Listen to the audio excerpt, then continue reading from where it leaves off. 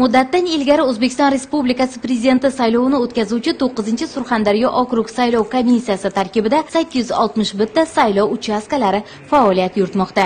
Ayni paytda esa biz termiz shahri o'zbekiston mahallasi hududida joylashgan ikki yuz ellik birinchi saylov uchastkasidamiz va ushbu manzilda ikki ming to'rt yuz yetmish olti nafar saylovchilarning ro'yxati shakllantirilgan. Olti yuz ellik besh nafari esa aynan yoshlardir. Hamda ushbu muhim siyosiy jarayonda yigirma besh nafar o'g'il qizlarimiz ilk marotaba ishtirok etishmoqda.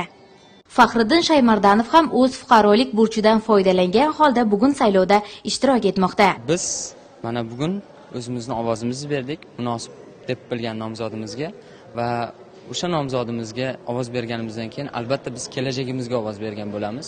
Saylovchilarning yagona elektron ro'yxati asosidagi ma'lumotlarga ko'ra okrug bo'yicha saylovda bir million to'rt yuz o'n besh ming yetti yuz oltmish yetti saylovchilarning ovoz berishi kutilmoqda va ushbu muhim siyosiy jarayon bugun xalqaro kuzatuvchilarning ham nigohida.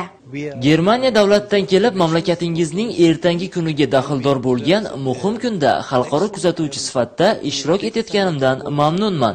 Saylov talablariga mos tarzda tashkil etilgan va jarayonlarni xolis baholash uchun kuzatib bormoqdamiz. hadicha mamadustova ham mamlakatimiz ertangi kuniga befarq emas men ham shu jamiyatni faol fuqarosi hisobida e, bugungi saylovga ishtirok etdim va o'zim munosib deb bilgan e, nomzodga ovoz berdim. Bugun biz berayotgan ovoz kelajagimizni farzandlarimiz ertangi kunini belgilab beradi. Shuning uchun barcha o'zbekiston aqlini bugungi saylovga befarq bo'lmasligini so'rab qolaman.